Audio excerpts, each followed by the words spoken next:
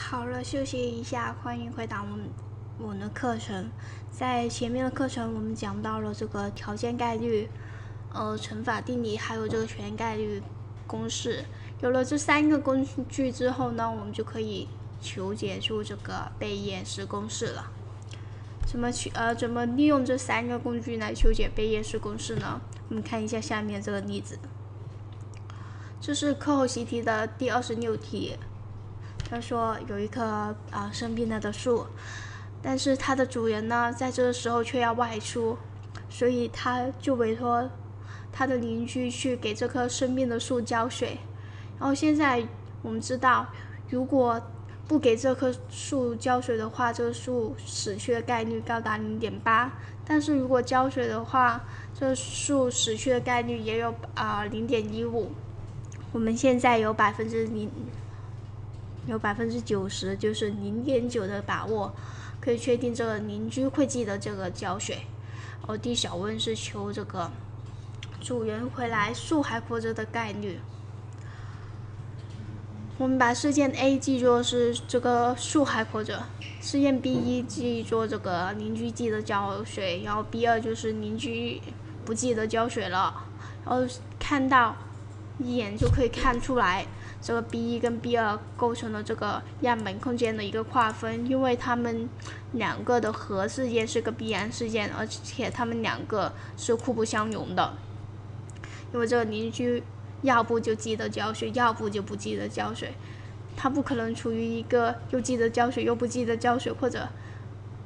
又不记得浇水又记得浇水的这种矛盾的状态，所以呢，他们是一个。样本空间的一个划分，所以这时候求解这个树还活着概率，就是事件 A 发生的概率，我们可以利用到前面的全概率公式。所以 P A 就等于在事件 B 一发生的条件下，事件 A 发生的概率乘上这个事件 B 一发生的概率，再加上这个。在事件 B 二发生的条件下，事件 A 发生的概率乘上这个事件 B 二发生的概率，大于公式就可以得到这个树主人回来时候，这棵树还活着的概率就是百分之七十八点五，就是零点七八五了。然后第二个问题是告诉你，这个树呃主人回来的时候，这棵树已经死掉了。然后问这个邻居忘记浇水的概率。也就是说，我们要求解这个在事件 A 发生的条件下，事件 B 二发生的概率，我们要怎么求呢？根据这个条件概率的定义，我们知道这个在这个事件 A 发生的条件下，事件 B 二发生的概率就是等于事件 A B 二发生的概率再除以事件 A 发生的概率。上面这里这个分子这部分呢，我们可以利用到前面的乘法公式。把它写成这个事件 B 二发生的条件下，事件 A 发生的概率乘上这个事件 B 二发生的概率，然后这个事件 A 发生的概率，我们也可以，事件 A 的概率已经在第一个小问里面求出来了，我们也把它写出来，就是利用这个全概率公式把它写出来。哦，这时候我们就可以得到了这个贝叶斯公式。这就是贝叶斯公式的求解过程。哦，最后的答案呢，你们就自己回去算吧，我就不在这里算了。我们再来看一下这贝叶式公式的啊严格定义。他说试验一的样本空间是 S，然后 A 是试验一的一个事件，然后 B 一、B 二到 B N 呢是 S 的一个划分。然后，而且还有这个事件 A 发生的概率是大于零的，事件 B I 发生的概率也是大于零的。这时候我们就有这个贝叶斯公式，就是我们可以求解这个在已知到事件 A 发生的条件下，事件 B I 发生的概率就是这里。我们来看一下这个贝叶斯公式，它原本呢，我们要求的是在事件 A。作为一个条件，但是在后面的计算里面呢，是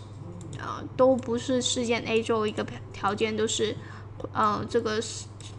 划分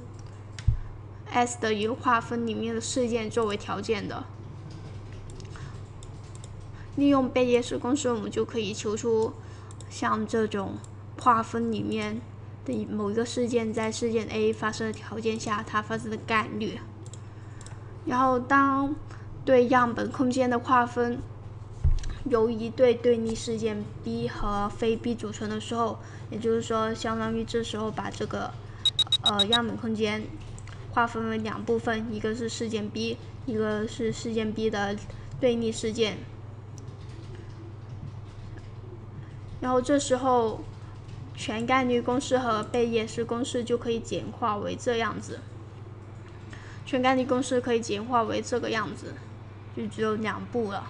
然后贝叶式公式呢，也可以简化为这个样子。像这种简化的公式呢，其实应用还是挺广泛的，因为一个啊这样的一个划分是很容易找到的，由对立事件构成的一个划分。而且你知道了事件 B 发生的概率，你就可以求出它的对立事件发生的概率了。下面我们来看一下书上的一个贝叶斯公式的一个例子。哦，这是书上的例七。他说，根据以往的数据分析表明，当这个机器调整良好的时候，产品的合格率呢是百分之九十八。而当这个机器发生某种故障，就是没有调整好的时候呢，它的产品的合格率呢仅为百分之五十五。然后每天早上机器开动的时候，机器调调整良好的概率是百分之九十五。然后现在我们知道了，某天早上第一件产品是合格品的时候呢，这个机器调整好的概率是多少呢？我们把这个事件 A 记为这个。产品合格，然后事件 B 记为这个机器已经调整好了，然后根据这个题目的条件，我们就可以求出，啊，我们可以知道，不用求了，直接可以知道这个在这个事件 B 发生的条件下，事件 A 发生的概率是百啊零点九八，在这个事件非 B 发生的概率发生的条件下，事件 A 发生的概率是啊零点五五。然后这个事件 B 发生的概率是零点九五，事件非 B 发生概率是零点零五。我们现在的要求的是在事件 A 发生的条件下，事件 B 发生的概率，所以由贝叶斯公式就可以得到这个在事件 A 发生条件下，事件 B 发生的概率是百分之零啊百分之九十七，也就是说零点九七。就是说，当生产出来第一件产品是合格的时候呢，这个机器调整良好的概率是零点九七。然后呢，这个机器它每天早上机器开动的时候，机器调整良好的概率是百分啊百分之九十五。这个概率呢，我们通常叫做先验概率，是由以往的数据分析而得到的。然后我们计算出来的这个是这个百分之九十七，就是零点九七呢，就是叫做后验概率。我们是得到某种信息之后，再啊对原来的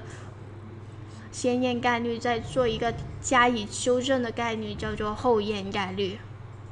有了后验概率之后，我们就能对这个机器的情况进一步的掌握了。它与呃这时候它是调整好的概率会比较高。啊，如果说某天早上第一件产品是啊不合格的话，那可能它这时候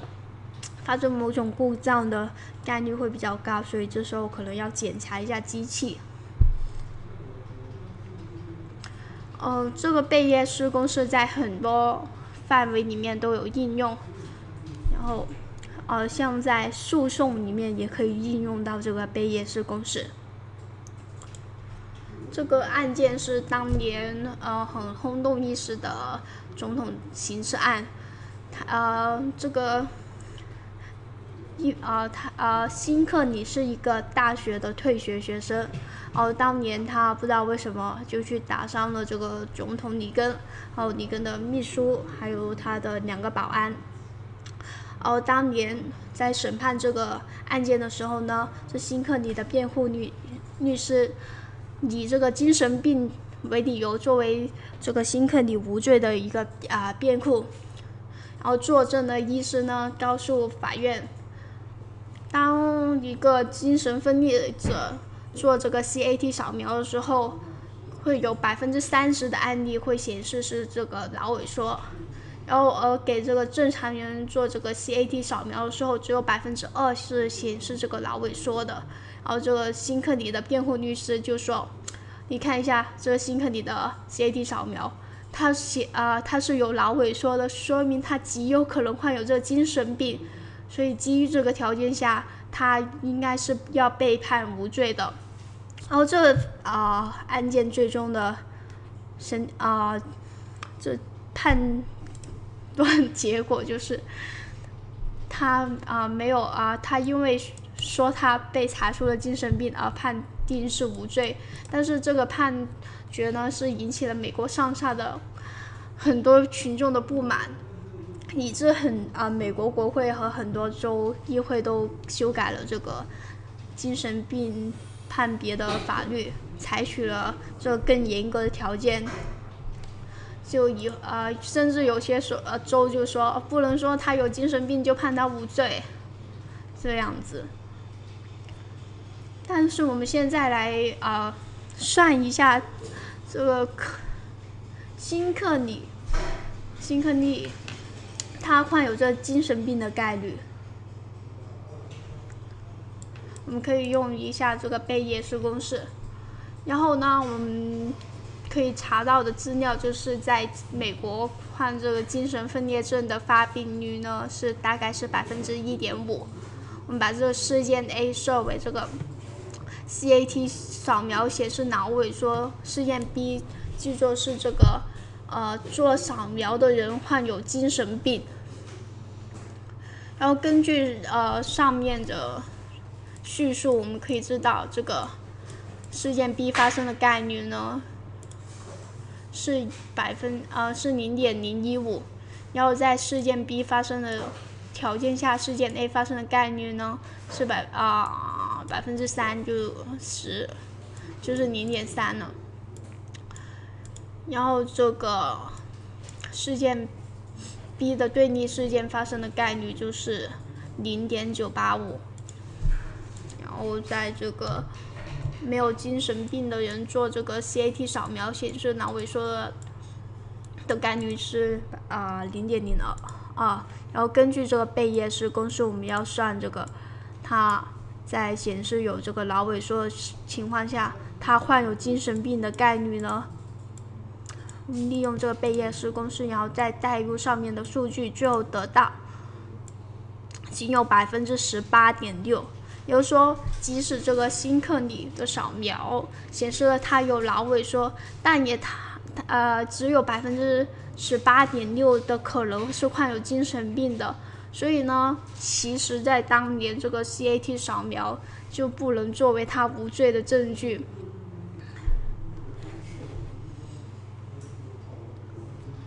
下面一个是呃贝叶斯公式在。疾病诊断上的应用，我们可以看一下这个书上的例子的例八。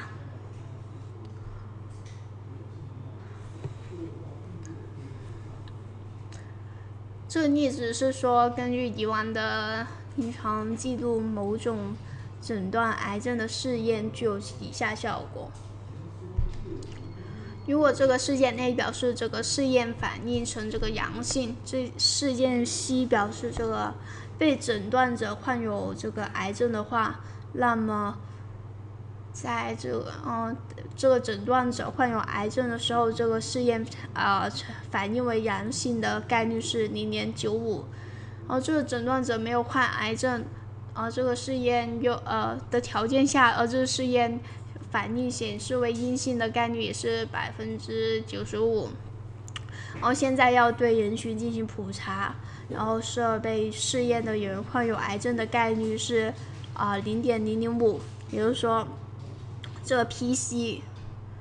等于零点零零五。我们现在要求如果啊某个人他的试验为阳性，然后这个人发生啊他有癌症的概率是多少？然后根据上面的公式呢，我们可以知道，在 C 条呃事件 C 发生的条件下，事件 A 发生的概率就是零点九五。然后在这个呃如果是事件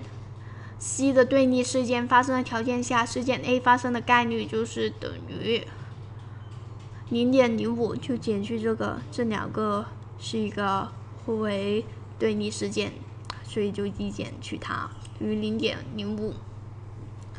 然后这个 P C 的概率就上面已经求过了，然后 P C 的对立子呃事件 C 的对立事件的概率就零点九九五，然后根据这个贝叶式公式，我们可以求出来，如果啊知道某个人的这个试验呈反应为阳性的话，这人患有癌症的。概率大概只有零点零八七，这概率比较小的，所以这个试验如果用于普查的话，它正确率也太低了，所以这个试验呢就不具有这个广泛性，可能可能啊先做其他的试验，把人先筛一下，再做这个试验会比较好。然后贝叶斯公式的一个重要应用就是判啊，在这个判断垃圾邮寄嗯上面呢，呃，我们是这样想的：如果已知的某些字词呢，经常出现在垃圾邮件中，但是它很少出现在一个非垃圾邮件，也就是合法邮件中，那么当一封邮件，我不知道它是垃圾邮件还是合法邮件，含有这些经常出现在垃圾邮件里面的字词的话，那么它是垃圾邮件的可能性就很大了。这就是呃，利用这个贝叶斯公式组建这个垃圾邮件分类器的一个想法。然后说呃要这个贝叶式分类器其实是属于这个机器学习的一部分。所以首先呢，我们要创建一个基于记呃字词符号的贝叶式数据库，也就是说，你要给一堆的垃圾邮件和非垃圾邮件给它，然后将这些垃圾邮件和非垃圾邮件里面的字词都分好，然后再计算某些字词在垃圾邮件中出现的概率，在非垃圾邮件中出现的概率。啊，比如说啊，中奖这个词呢。一般很多时候都会在垃圾邮件里面出现的，所以呢，可能它在垃圾邮件里面的概呃出现的概率比较高。然后像这样，然后呃我们当我们得到了一封新的邮件的时候，我们就检测一下这。新的邮件里面有什么？有没有一些经常出现在垃圾邮件里面的字词？比如说啊，你收到一封新的邮件，里面都说啊，你恭喜你中奖了，请到什么什么地方领奖，什么什么什么的。那么，呃，根据这个贝叶斯分类器呢，可能就把这封邮件分为这个垃圾邮件了。呃，第三步呢，会是根据这个个人的个性化的选择。构建个性化的贝叶斯库，然后比如说垃圾邮件这个是否垃圾呢？对于不同的人来说会有不同的啊分法。比如说啊，你经常要买某样东西的，呃，比如说啊，你经常网购的，然后。某些公司会经常发一些 啊，他们的商品啊，或新的产品或者什么促销的活动发给你的话，你会很乐意去看这些信息的时候，这就是呃，对于你来说这些就不是垃圾邮件了。但是对于一个呃，比如说一个工作邮箱，它这个邮箱一般用来工作的话，你再发这些促销的什么的信息给他的话，对于呃这个人来说，它就是一个垃圾邮件了。然后。呃，像我们在呃这个垃圾邮箱里面，比如说在 QQ 邮箱里面，我们都有啊，如果它被误判的垃垃圾邮件，我们可以把它啊选择为这不是垃圾邮件，就把它从垃圾邮件的分类中变为合法邮件。然后，如果你收到了一个合法邮件，但是你却认为它是一个垃圾邮件，你也可以把它标记为垃圾邮件，然后就改变了它的这个字词的里面垃圾概率，然后就可以构建属于你个人的这个贝叶式分类器的啊垃圾邮件判别了。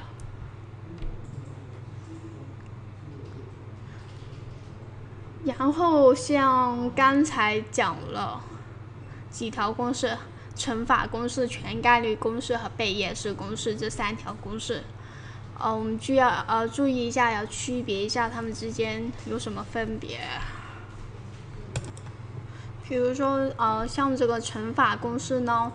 是求几个事件同时发生的概率，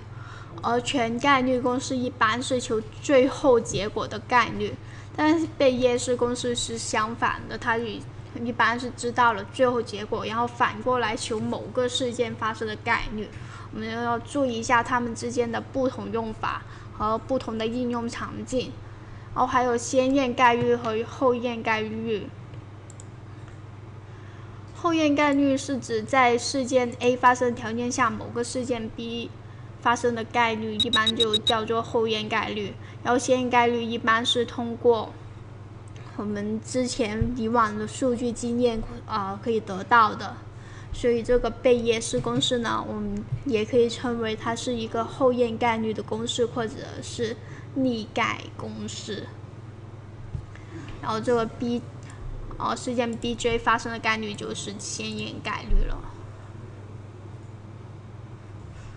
好了，这一节先简到讲到这吧，先休息一下。